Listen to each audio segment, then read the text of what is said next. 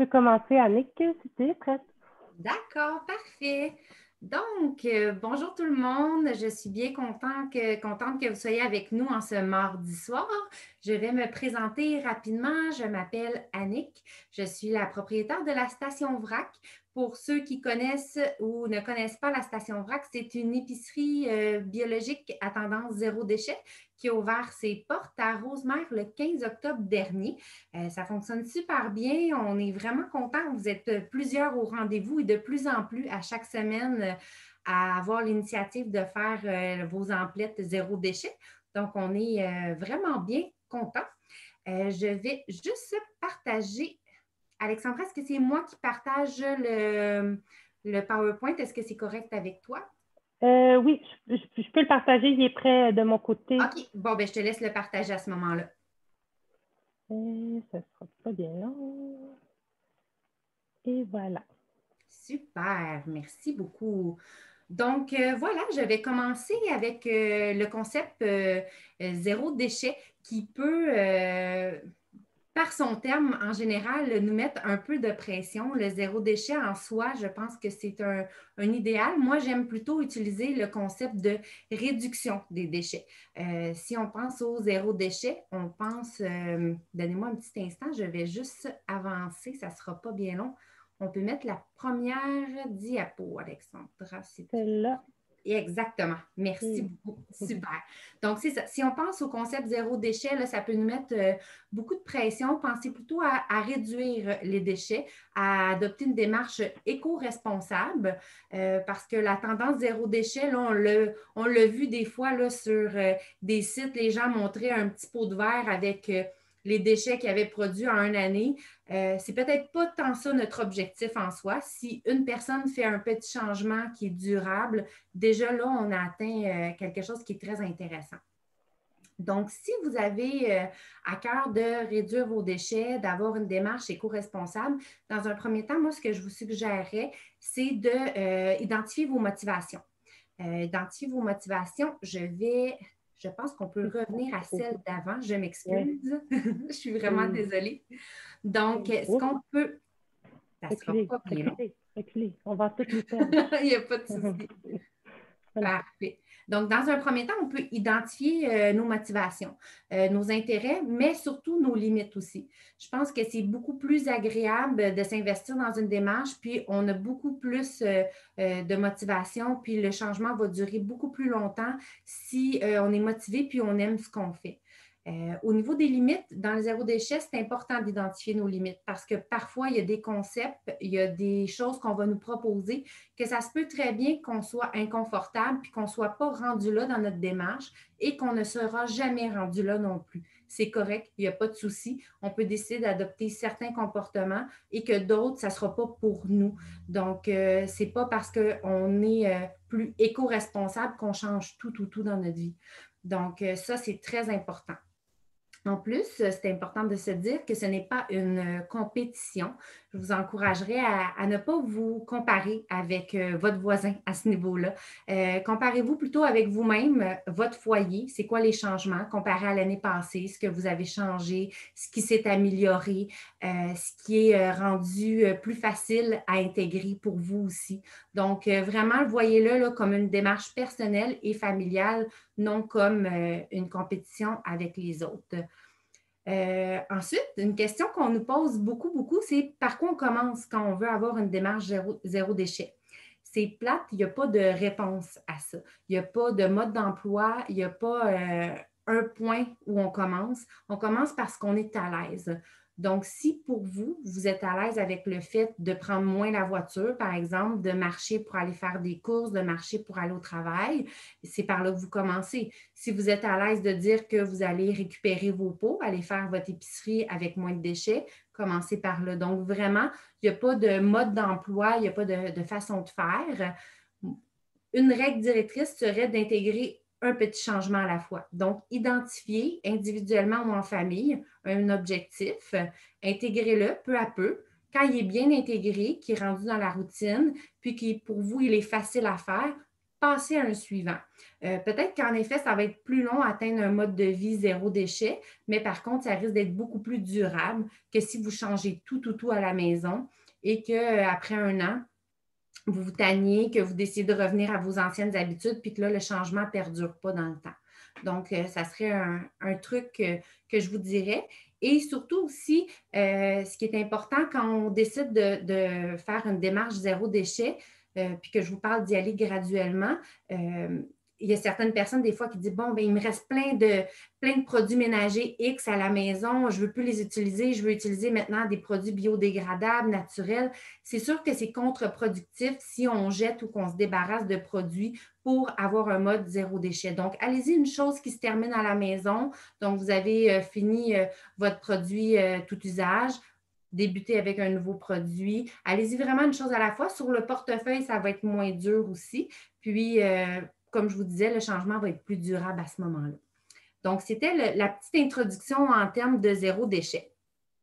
Ensuite, quand on parle de zéro déchet, c'est là qu'on va vous parler du concept des 5 R. Possiblement que vous en avez déjà entendu parler. Le concept des 5 R, ici, on dirait plutôt le concept des 4 R et un C, parce que le concept des 5 R, c'est un concept euh, anglophone.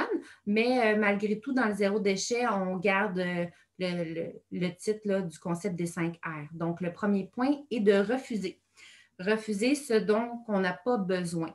Euh, ça peut être encore une fois à plusieurs niveaux. Ça peut être euh, de refuser euh, de prendre un, verre à café jetable ou refuser complètement de posséder une voiture. Donc, vous voyez que la marge, encore une fois, peut être très large, mais c'est un, premier concept qui est intégré dans, notre mode de vie, là, si on veut avoir un mode de vie plus éco-responsable.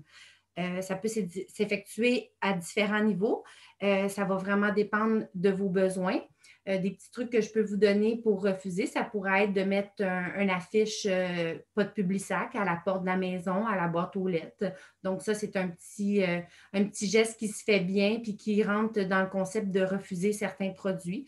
Ça peut être de refuser une carte professionnelle mais de la prendre en photo. Donc, encore là, c'est même pratique. On ne la perd pas, on l'a dans notre téléphone, il est en photo. Puis on a refusé de posséder un, produit qui, risque d'être jetable ou qui risque d'être à la récupération.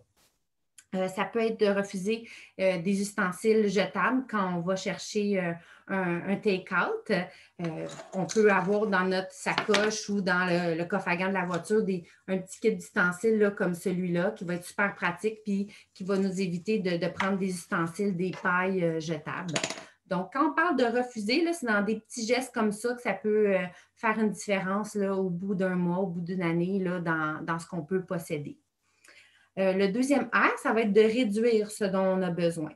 Euh, quand on parle de réduire, on ne parle pas nécessairement de simplicité volontaire et de vivre euh, d'amour et d'eau fraîche, même si ça peut être très agréable, mais de réduire, c'est on va se questionner sur nos besoins.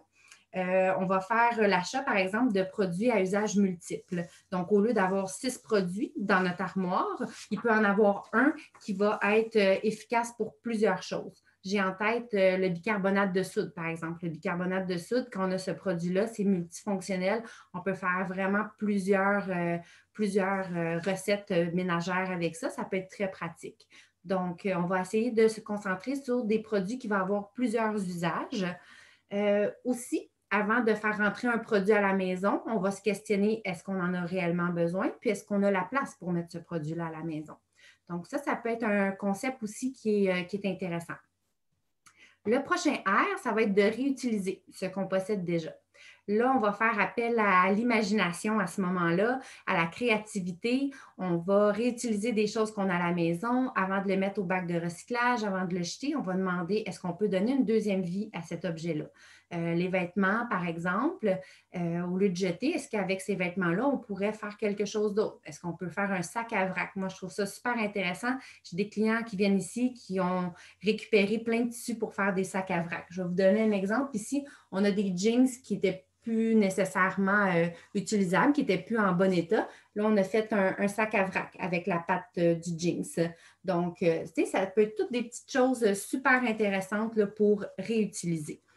Euh, acheter des objets de seconde main aussi, ça va faire partie du concept de réutiliser. Marketplace peut être un bon exemple, déborde d'objets qui se cherchent un heureux propriétaire. Donc, posséder des produits de, seconde main, c'est un exemple de, réutilisation aussi. Vous pouvez vous inspirer, site Internet, blog.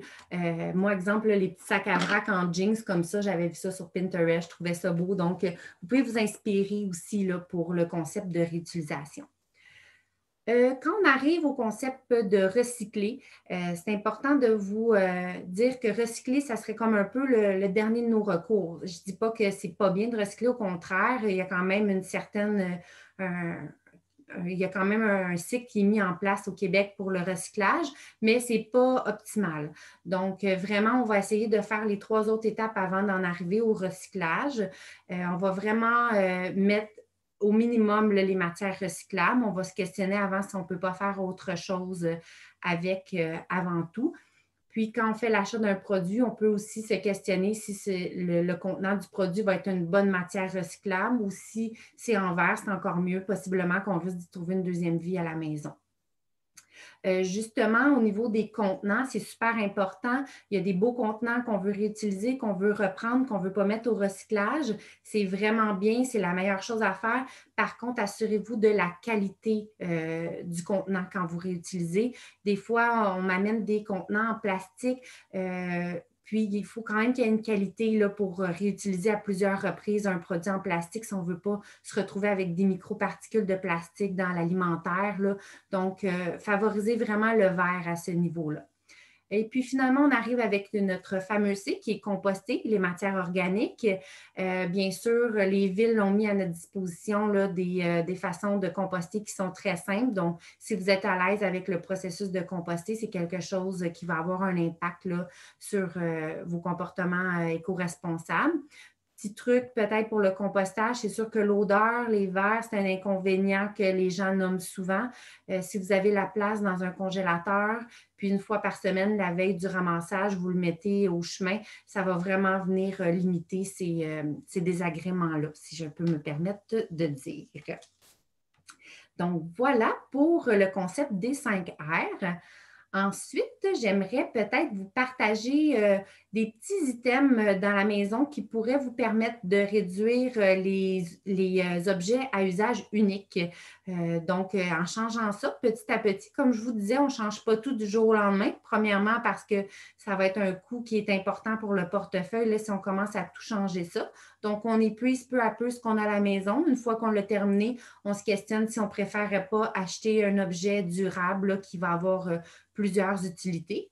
Euh, quand on parle des essuie-tout, je ne sais pas si vous connaissez les petits essuie-tout réutilisables comme ça. Donc, euh, tout petit, mais qui équivaut à 17 rouleaux de papier essuie-tout. Et une fois qu'il est terminé, euh, va se composter à 100% puis de manière rapide aussi. Donc, ça, c'est très bien. C'est une belle alternative. Ça va se mettre à la laveuse une fois que c'est terminé, une fois qu'on sent qu'il a, besoin d'être nettoyé, ça va faire le même travail qu'un essuie-tout.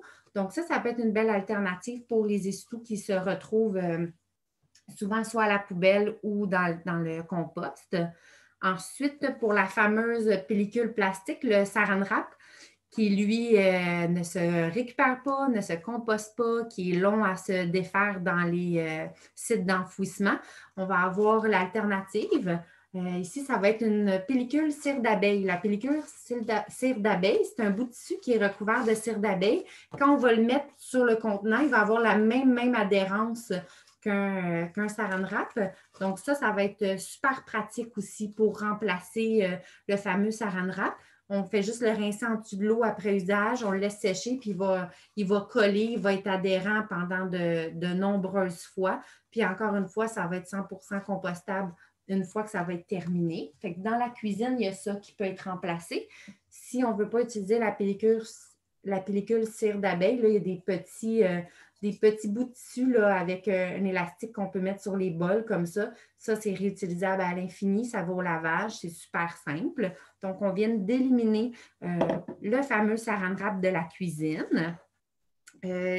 Les petits tampons à récurer, il y en a à la noix de coco comme ça qui vont, euh, c'est fait avec euh, l'écorce de noix de coco. ça va être durable, ça va au lave-vaisselle quand on sent qu'il y a besoin d'un petit peu d'amour.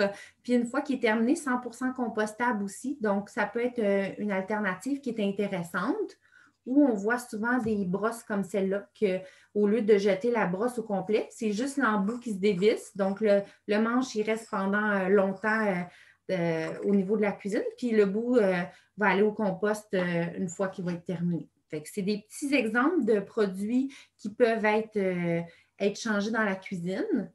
Les Ziplocs, on n'en veut plus. On prend des sacs à collation réutilisables comme ceux-là. Ceux-là, je les aime beaucoup, sont faits avec euh, des bouteilles d'eau recyclées. Donc, en plus, notre comportement est écologique, puis le tissu pour lequel il a été pris est fait avec des bouteilles recyclées. Donc, c'est super le fun, euh, des petits sacs comme ça, mais encore une fois, vous pourriez en faire vous-même avec euh, des, tissus que vous avez à la maison. ça, ça va être très bien. Il y a plusieurs sacs à vrac. Il y en a pour la conservation des pains, des cafés. Euh, vraiment, là, il y a un peu, un peu de tout au niveau des sacs à vrac. Ça peut être très pratique. Euh, bien sûr, bouteille d'eau. On évite ça. On va prendre notre fameuse bouteille d'eau. On est chanceux. Au Québec, euh, on a de la bonne eau. Donc, on peut soit prendre l'eau du robinet ou avoir vraiment des, des, grosses cruches qui vont être réutilisables. Les bouteilles d'eau, on raye ça de la liste. Ça peut faire partie de, vos premiers euh, checklists si vous voulez. Euh, filtre à café, euh, poche de thé, il y en a des réutilisables aussi, ça va être très bien. c'est tous des produits dans la cuisine qui se remplacent peu à peu assez facilement. Produits ménagers, j'en ai un peu parlé tout à l'heure. On va favoriser un produit qui est à usage multiple pour éliminer les nombreux produits qu'on va avoir. Donc, euh, dans, les produits biologiques, dans les produits biodégradables, ici à la station VRAC, on a des produits à vous proposer qui vont faire plusieurs tâches à la fois. Je fais juste penser, par exemple, à la poudre de la vaisselle qu'on a. Bien, la poudre de la vaisselle, oui, est bonne pour le lave-vaisselle, mais est bonne pour récurer les casseroles, est bonne pour faire partir les taches sur les tissus, est bonne pour récurer, euh, pour faire la vaisselle, pour nettoyer la cuvette de toilette. Donc, avec un seul produit, on peut faire plusieurs tâches. Donc, on peut euh, favoriser ça. Puis les produits ménagers, ce qui est le fun, c'est qu'on en retrouve beaucoup en vrac. Il y a plusieurs euh, euh, commerces qui offrent le vrac de produits ménagers. Donc, conservez vos beaux bidons de détergent à lessive qu'on met au bac de recyclage, mais qui peuvent être réutilisés encore plusieurs fois. Euh, bon, ben, on y va pour le remplissage. Nous, les bidons qu'on a ici, ils sont en consignation, sont réutilisés de nombreuses, de nombreuses fois. Donc, ça peut être très pratique. Puis une autre chose dans les produits ménagers qu'on peut remplacer, c'est euh, euh, les, feuilles d'assouplisseur. On peut remplir ça, remplacer ça par euh, des balles de séchage. Les balles de séchage vont être bons pour de nombreuses brassées. Donc, plusieurs années, vous allez les avoir. Vous faites un achat, vous les avez plusieurs années.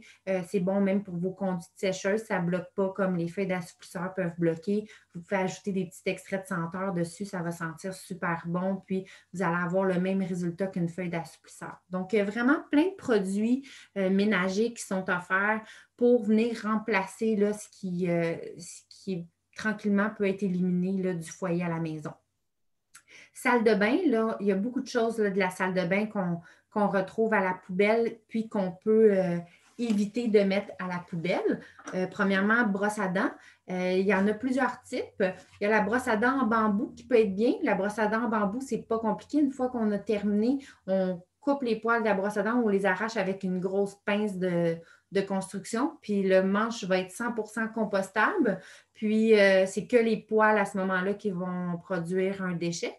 Il y a des gens qui n'aiment pas du tout euh, le, goût de, la brosse à dents en bambou. On s'y fait, mais si ce n'est pas le cas, il va y avoir aussi des brosses à dents que c'est que l'embout qui va être interchangeable au lieu du manche au complet. Donc, euh, il y a des alternatives au niveau de brosse à dents. Soie dentaire, a des soies dentaires compostables parce qu'une soie dentaire régulière, ce n'est pas compostable, ça se dégrade pas du tout. Euh, donc, il y a des soies dentaires compostables. Les dentifrices, c'est super bien, il y en a en vrac. On peut euh, se procurer un contenant rigide de cette façon-là, puis on peut opter pour le dentifrice en vrac. Il y a des dentifrices en pastille aussi euh, qui peuvent être bien. Personnellement, je ne l'ai jamais essayé, mais pour avoir lu sur le sujet, ça semble être très bien aussi. Savon, shampoing revitalisant en barre. Donc là, encore une fois, on fait l'achat puis il n'y a aucun déchet. Euh, c'est tout aussi efficace, les shampoings en barre, une fois qu'on s'adapte, là, c'est vraiment euh, très efficace. Euh, plein de produits en vrac, crème pour le visage. Les déodorants aussi sont en vrac. On peut faire l'achat d'un premier contenant comme celui-là qui est à billes. Puis après ça, c'est que le remplissage qui se fait pour le déodorant. Fait pour ça, c'est super bien euh, aussi. Fait qu'on vient d'éliminer pas mal de déchets là, de, euh, déjà en partant. Tampons démaquillants. Les tampons démaquillants, là, si on en utilise un ou deux par jour, au bout de, la semaine, de l'année, ça en fait beaucoup. Fait qu'il y en a des super beaux réutilisables, très, très doux en plus. Euh, donc, pour se démaquiller. Puis quand on a un bon produit détachant, là, une barre détachante, ça reste beau tout le temps. Fait que c'est très bien. Il y a même des petits euh, euh, coton-tiges pour les oreilles qui sont réutilisables. Il y a vraiment de tout en produits réutilisables. Reste à voir, encore une fois, avec quoi vous êtes euh, à l'aise. couches, produits d'hygiène féminine réutilisables. encore là, quand je parlais d'identifier les limites, c'est important. Il ne faut pas se mettre de pression avec ça.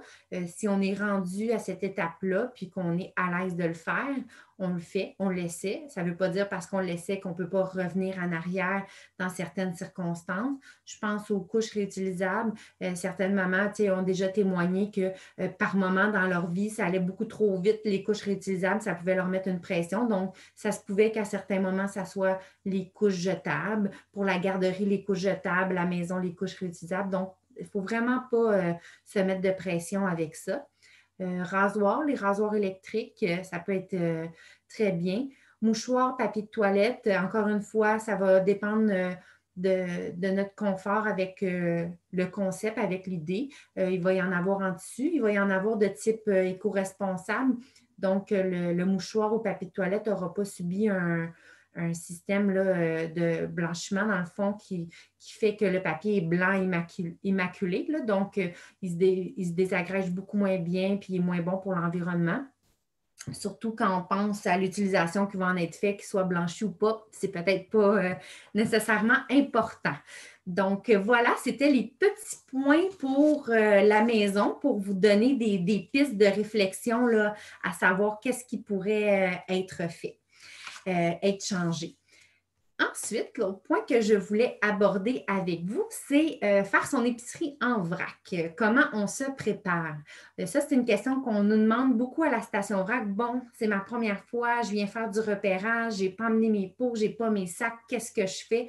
Donc, il n'y a pas de souci. Ça peut être bien justement d'aller faire une première visite dans une épicerie vrac pour euh, voir le fonctionnement. Chaque épicerie a son fonctionnement.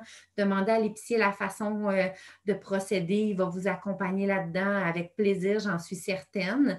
Donc, euh, de notre côté, à la station VRAC, les, petits, les, petites pistes qu'on peut vous donner dans un premier temps, c'est de faire le ménage et d'organiser le frigo et le garde-manger parce que des fois, on a des choses en double, des fois, on ne sait même pas ce qu'on a dans le garde-manger. Donc, on va commencer en faisant un bon petit ménage. On va euh, identifier les essentiels qu'il faut avoir en tout temps à la maison pour nos recettes. Donc, je pense farine, riz, euh, légumineuses. Donc, euh, ces produits-là, ça peut être bien de, les avoir en tout temps si ça fait partie de notre alimentation, puis si on cuisine beaucoup. Donc, on va, euh, on va y aller de cette façon-là. Euh, organiser le frigo, les aliments périssables, on va les mettre euh, le plus possible en vue sur la première étage, à l'avant, pour éviter le gaspillage alimentaire. Ensuite de ça, on va prévoir les repas, faire la liste des aliments qui sont manquants. Donc, quand on fait une épicerie en vrac, c'est d'autant plus important de faire sa liste d'épicerie. C'est plus difficile d'arriver dans une épicerie en vrac puis de fouiner puis de dire ça, j'ai-tu besoin de ça ou non? Donc, vraiment, la liste d'épicerie, elle est conseillée. On va préparer nos contenants. Euh, idéalement, si on peut réutiliser un contenant, on le réutilise. Comme je vous disais tout à l'heure, on fait attention à la qualité du contenant. Euh, le contenant doit être lavé, doit être sec pour éviter d'altérer le produit qu'on va mettre à l'intérieur. On va les identifier aussi. Euh, encore là, ça, c'est à vous de déterminer à quel niveau vous voulez organiser votre, votre garde-manger. Mais ça peut être bien d'avoir le pot, qu'on inscrit déjà ce qu'on veut avoir dessus. Et On peut le mettre sur le dessus aussi, dépendamment de comment c'est placé. Puis on peut déjà peser le contenant puis l'identifier avec un, petit pitouch. Là, comme ça, ça va aller, ça, ça va même au lave-vaisselle. Donc, euh, c'est bien, c'est déjà identifié. Ça va économiser un peu de temps rendu en épicerie. Puis, euh, pour vous, ça va être plus facile d'identifier les quantités, ce que vous avez de besoin avec vos pots déjà identifiés. On a déjà des clients qui sont bien disciplinés, qui le font, c'est super, mais euh, ça reste à voir si c'est quelque chose qui est dans votre intérêt d'organiser de cette façon-là. Euh, ensuite, préparez vos sacs à vrac, euh, vos sacs à fruits et légumes. Des fois, ça peut être lourd de partir avec 20 contenants. Donc, euh, on part avec un petit sac à vrac comme celui-là. Dans notre sac, c'est super léger, c'est plus simple. Puis, rendu à la maison, on transvide dans nos contenants. Ça, c'est possible aussi. c'est important, transvider rendu à la maison. Ils sont super beaux, les sacs, mais au niveau de la conservation des aliments, on y va dans un pot qui est hermétique, idéalement. Euh, pour les contenants aussi, euh, si vous y allez avec des contenants, assurez-vous d'avoir euh, des pots quand même idéales avec des, ouvertures de pots qui sont plus grandes. Ça va être plus facile pour le remplissage en épicerie. ça va être plus facile pour le commis qui vous fait le service. Moins de dégâts et plus d'efficacité, de rapidité au niveau du service. Ça peut être bien d'avoir un grand sac aussi en plette avec un fond rigide, un sac qui est plus solide. On voit beaucoup de gens arriver avec des sacs avec des séparateurs, les fameux sacs que, la SAQ donne pour euh, les bouteilles de vin avec des séparateurs. Ça va être bien ça pour les contenants rigides. Pour faire l'épicerie en vrac, ça va, ça va faciliter le processus. Puis aussi, euh, ce qu'on a identifié, c'est de, pouvoir identifier les commerces qui offrent du vrac près de chez vous. Il y en a possiblement plus que vous pensez. Ce n'est pas nécessairement une épicerie en vrac comme ici à la station vrac, mais euh, des commerçants peuvent offrir un petit produit X en vrac. Ça va tout être inscrit sur le circuit zéro déchet. Euh, les entreprises, on peut s'inscrire, puis on voit tous les, endroits là, que, que le vrac est offert. Donc, vous pouvez aller fouiner à ce niveau-là, voir qu'est-ce qui est autour de chez vous. C'est bien intéressant. Ensuite, ensuite de ça, euh, l'autre point à l'épicerie, c'est d'initier vos commerçants au vrac. Demandez, plus il y a de demandes, plus les commerçants vont s'ouvrir au vrac. C'est sûr, on ne vous le cachera pas qu'avec la pandémie, il y a eu un petit recul qui a été fait au niveau euh, du vrac dans les épiceries. on le voyait beaucoup. Les grandes surfaces acceptaient qu'on emmène nos contenants pour la viande. Là, ça, ça a été euh, retiré là, pendant la période de pandémie, mais on va avoir un retour euh, éventuellement à, la normale. Puis, euh, je vous invite à le demander à vos commerçants là, de est-ce que je peux amener mon contenant pour ça? Est-ce que vous pourriez avoir tel produit en vrac? les commerçants, plus ils vont avoir de demandes, plus ils vont être ouverts à offrir le vrac. Puis je pense que plus on est à offrir le vrac, plus on va on va s'avancer vers une démarche éco-responsable qui va être plus importante. Ensuite de ça, euh, d'aller faire son épicerie en ayant du temps devant nous. Ça, c'est bien important. L'épicerie en vrac euh, ne se fait pas en, deux minutes. souvent, si vous faites le libre service ou s'il y a un service qui est offert à l'épicerie que vous allez, ça demande de la manutention, peut y avoir des petits dégâts. Bref, il faut prévoir un peu plus de temps quand on fait notre épicerie en vrac. Il faut être patient. On peut en profiter pour euh, faire de la petite jasette. Notre social en mange un coup dans ces temps-ci. Donc, euh, on le voit ici à la station vrac. C'est un beau lieu de discussion. Donc, euh, soyez patient quand vous faites votre épicerie en vrac. Euh, puis, il y a plusieurs épiceries qui peuvent vous offrir la préparation de commandes aussi. Donc, euh, si vous n'avez pas le temps devant vous, nous, on a des clients qui le font. Ils nous amènent leur sac avec leur pot vide, leur liste d'épicerie, leur contenant identifié, nous disant qu'est-ce qui va dans quoi. On prépare l'épicerie, puis on prévoit un moment avec eux là, pour qu'ils viennent récupérer leur, euh, leur épicerie. Fait que ça peut être quelque chose qui, est bien à faire aussi. Là, si vous avez moins de temps puis que ça, ça, se met moins bien dans votre horaire, déposez vos sacs avant d'aller travailler, revenez les chercher à l'heure du dîner ou, en soirée. Puis, euh, ça va vous économiser du temps sur votre démarche d'épicerie en vrac. Donc, euh, pour la préparation de l'épicerie, c'est ça. Euh, ensuite, l'autre point qui était la consommation locale. Donc, euh, bien sûr, consommer local pour réduire son empreinte environnementale. oui, on encourage beaucoup le local présentement, mais consommer local va avoir un impact euh, direct sur l'environnement. On va réduire le temps de transport entre un, aliment puis l'assiette du consommateur. Ça, ça va y être pour beaucoup. Donc, un commerce de proximité. Ici, à la station VRAC, je trouve ça génial. Je vois plein, plein de gens qui viennent à pied avec leur petit carrosse. Euh, ils viennent euh, avec leur sac à dos. Donc, on va encourager les commerces de proximité on va limiter les déplacements le plus possible. Euh, d'ailleurs, c'est comme ça que de mon côté, l'idée de la station VRAC a, commencé à, germer. C'est que je devais prendre ma, voiture pour faire euh, quatre places. Des fois, je faisais 25 minutes de route pour aller faire mon épicerie en VRAC. Pour moi, ça faisait un peu un non-sens avec le fait de, de, réduire mon empreinte environnementale, de prendre ma voiture pour faire une épicerie en VRAC. Donc, je me suis dit qu'il y avait peut-être d'autres personnes qui avaient besoin d'avoir accès à une épicerie euh, zéro déchet. Donc, euh, réfléchissez à ça aussi là, quand vous, vous faites vos emplettes, à savoir s'il y a des commerces de proximité autour de vous qui pourraient vous offrir les produits que vous avez euh, besoin. D'encourager les commerçants d'ici aussi quand, quand on vient ici, on regarde sur les tablettes, c'est des produits du Québec, beaucoup des Laurentides. on n'a rien à envier aux grandes entreprises de ce monde, là, côté produits. On a toujours l'équivalent ou même plus qui peut être offert. Donc, quand vous aimez un produit qui n'est pas nécessairement local, faites des petites recherches, demandez à votre épicier s'il n'y aurait pas un équivalent qui pourrait euh, se faire ici. Euh, aussi, d'aller dans les commerces qui partagent vos valeurs, ça c'est bien. N'ayez pas peur de poser des questions aux commerçants, savoir euh, comment il met en vente ce produit-là, pourquoi il a choisi cette entreprise-là. Donc, poser des questions. Il y a un processus de réflexion qui se fait derrière chaque produit qui est mis sur les tablettes. Donc, euh, euh, discutez avec votre épicier à ce niveau-là. Euh, aussi, je pense que je ne veux pas tomber nécessairement dans cet aspect-là négatif, je ne veux pas faire la morale à qui que ce soit, mais il faut quand même avoir en tête que quand on a accès à des grosses aubaines, il y a un coût à ces aubaines-là.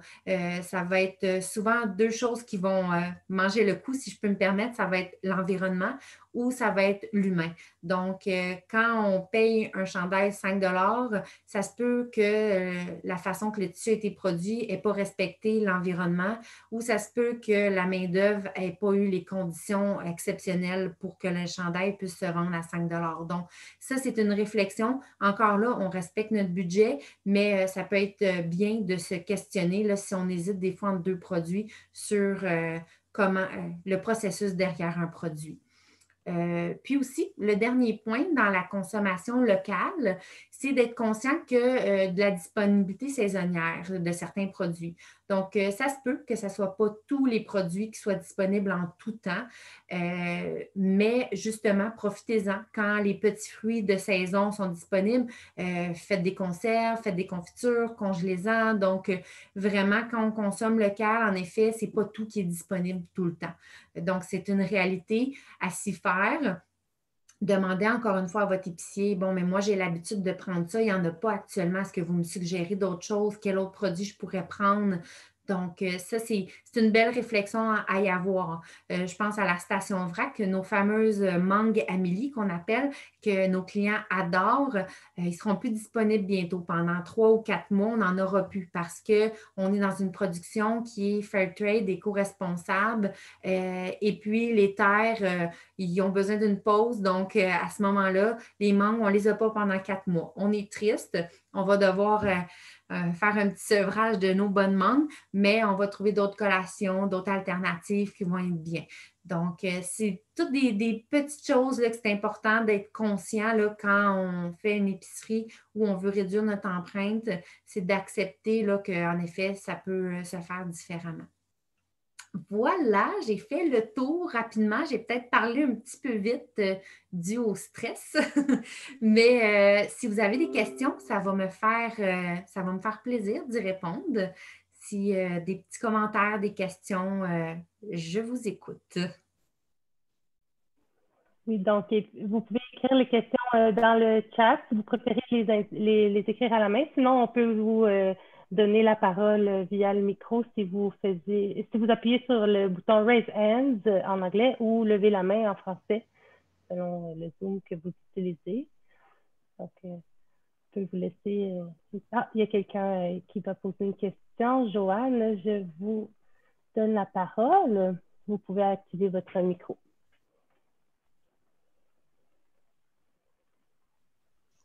Oui, bonjour, bonjour Annick. Euh, merci beaucoup, merci beaucoup pour la, conférence. Comme je disais, euh, ça fait plaisir de vous voir euh, sans votre masque. je vous vois toujours. J'imagine, j'avais déjà vu le bas de votre visage sur Internet. C'est un plaisir de vous voir.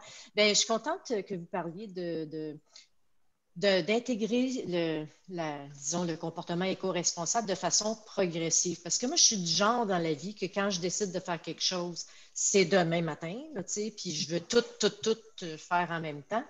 Puis, euh, puis des fois, ça me décourage tellement que, que je décide finalement de ne pas le faire.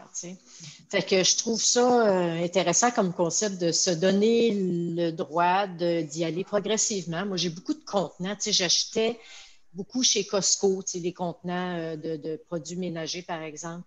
Puis là, je suis en train de tranquillement me débarrasser de ça, puis garder les contenants, bien sûr, pour aller les faire remplir avec des produits. C'est sûr que ce que je trouve difficile, c'est que je, peux me le payer. Là, je ne suis, pas, euh, je suis pas dans une situation financière qui m'empêche de le faire, mais quand même, c'est un peu plus cher. Il faut, faut, faut, se rendre compte de ça. Fait faut être prêt à faire euh, des compromis, disons, peut-être faire des choix, hein, éliminer certaines choses pour remplacer euh, dans notre budget par des achats plus éco-responsables.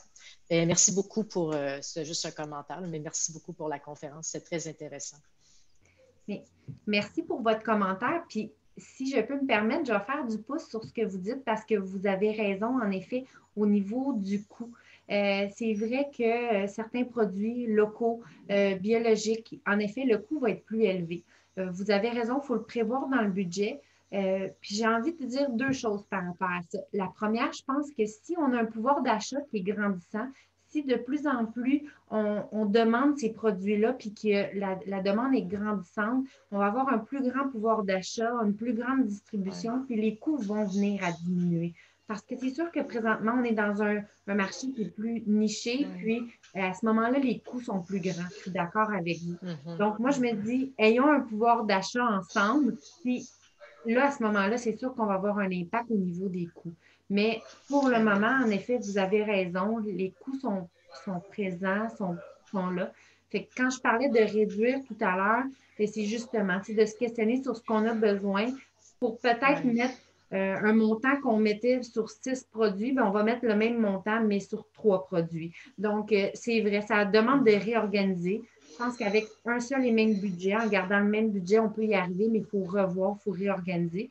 Puis moi, la station vrac, ça me fait toujours plaisir de, donner des conseils. Les gens, je veux qu'ils se sentent à l'aise de me dire ça, Annick, je ne peux pas me le payer, mais, mais j'ai ça à cœur. Qu'est-ce que tu me suggères? Je pense que votre, votre épicier ou les gens qui tiennent des boutiques zéro déchet peuvent vous accompagner là-dedans.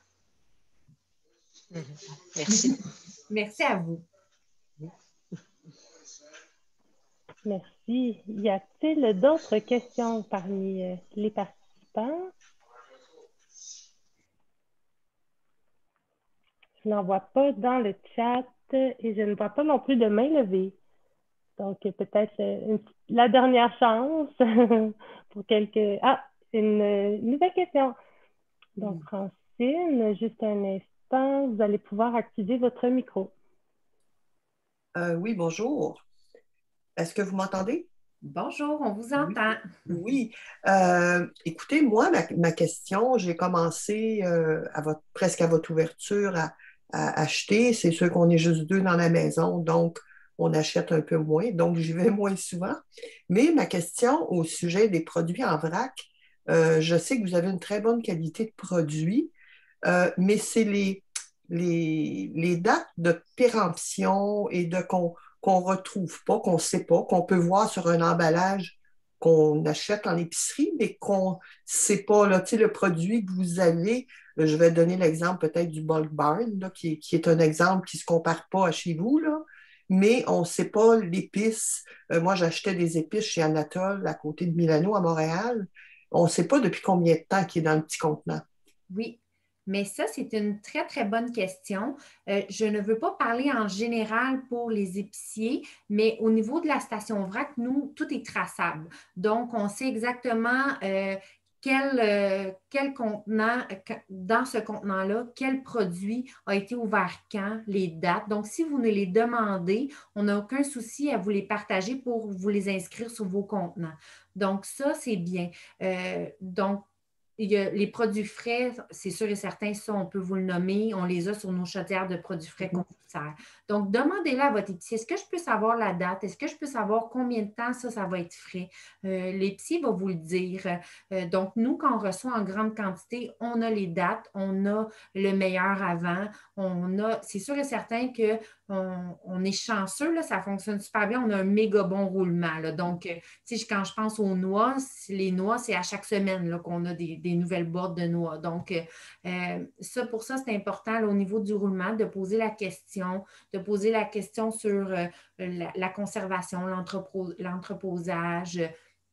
Mais les dates sont disponibles, on les a. Donc, euh, ça, demandez-le à l'épicier, il va vous le dire. Euh, si vous savez d'avance que vous allez vous présenter à l'épicerie pour plusieurs produits, peut-être pas tout lui demander là, au moment du service, mais vous pouvez lui écrire et dire Je vais me procurer tel, tel, tel produit, j'aimerais savoir les dates. Donc, l'épicier peut se préparer puis tout vous donner l'information.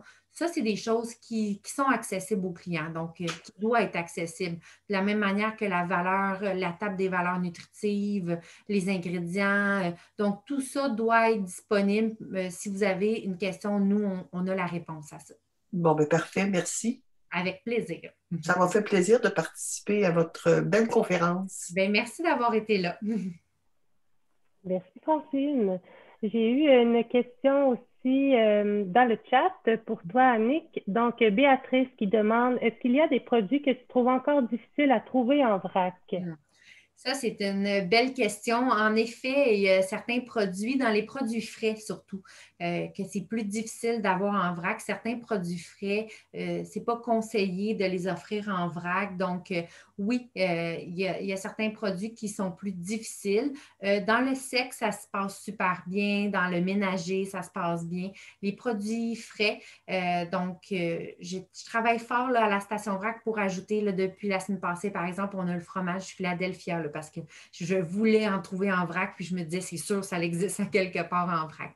Donc, euh, en fait, moi, je me questionne encore qu'est-ce qu'il y a des pots quand je fais mon épicerie, puis je me dis est-ce que je peux le trouver en vrac à quelque part pour la station vrac? Donc, euh, les produits frais, euh, il y a, une certaine limite qu'on a là, au niveau de, de ce qu'on peut offrir. Je pense aux, laits végétaux. J'ai essayé de rentrer des nouvelles alternatives parce que les laits végétaux, ça, ça, périme rapidement si ce n'est pas en contenant de, en contenant fermé euh, de carton. Puis moi, je suis moins à l'aise d'avoir des contenants de carton à l'épicerie ici. Donc, euh, c'est toutes des questions qu'on doit se poser là, qui fait en sorte qu'en effet, des fois, il y a des produits qu'on ne peut pas offrir parce qu'il n'y a pas la lignée euh, de valeur là, que, que l'épicerie veut avoir. Mais j'aimerais répondre à Béatrice que les produits frais, c'est un peu plus dur, oui. Oui, merci. Puis euh, il y a Joanne à qui je vais autoriser la parole de nouveau. Oui, j'ai une, autre, une autre question, Annick, que, j'ai oubliée tantôt. Euh, vous avez parlé de la qualité, de l'importance de la qualité des contenants qu'on apporte euh, pour le remplissage. Moi, j'ai l'habitude, j'avais l'habitude, je peux, je peux la changer de l'habitude, mais j'apportais, par exemple, je gardais les les petits contenants de caramel euh, grenache, par exemple, bien nettoyés, bien séchés, évidemment, ou des contenants de yogourt. Euh, autrement dit, des contenants du commerce. J'apporte ça. Puis, euh, est-ce que c'est correct ou c'est de ça que vous parlez quand vous dites qu'il y a des contenants dont le plastique est de moins bonne qualité? Bien, j'ai envie de vous dire que si c'est des produits secs que vous mettez dedans, euh, c'est moins, euh, ça, dérange moins. C'est très bien les contenants de yogourt. Il y a beaucoup de personnes qui les réutilisent, euh, exemple pour mettre les noix, les flocons d'avoine, le riz. C'est très bien. Ou que j'ai envie de vous dire qu'un un contenant de type Tupperware, là, qui est vraiment plus fait pour un plastique qui est réutilisé ou du verre, ça va être les produits frais puis s'assurer que c'est un plastique que vous n'avez pas mis, par exemple, au micro-ondes. Donc, euh, c'est dans, ce, dans cette optique-là. Donc, euh, je ne vous dis pas de ne pas réutiliser les pots de yogourt. Au contraire, pour le sec, ça peut être très bien. Pour l'aspect hermétique, pour garder les noix, par exemple, le contenant de verre ou le Tupperware va être vraiment mieux euh, pour la, qualité de la noix, par contre. Donc, si c'est un produit que vous pensez qu'il va rester longtemps dans le garde-manger, allez-y pour un autre type de conteneur. Quand je vous parle des, qualités, si c'est pour transporter de l'épicerie à chez vous et que vous allez mettre dans votre gros genre à la maison, c'est une autre chose. Mais euh, sinon, c'est sûr que des contenants comme ceux-là, ce n'est pas les plus hermétiques. Ce n'est pas ceux-là qui vont nous permettre de garder la fraîcheur nécessairement de l'aliment. Donc, euh, ils peuvent être utilisés, mais juste se demander là, spécifiquement pourquoi. Puis, euh, mais ce n'est pas, pas négatif, mais en effet, là, des, des, pots de type de yogourt, ça peut laisser des particules après un long usage ou s'il a été chauffé ou si c'est un produit frais qui est dedans. Parfait, merci beaucoup. Avec plaisir. Merci, Joanne. Donc, euh, je ne vois plus de nouvelles questions. Peut-être qu'on peut attendre quelques secondes si, euh, euh, si quelqu'un a une question pour terminer. Donc, je vous laisse un petit moment pour nous faire signe dans le chat ou avec le bouton Raise Hand.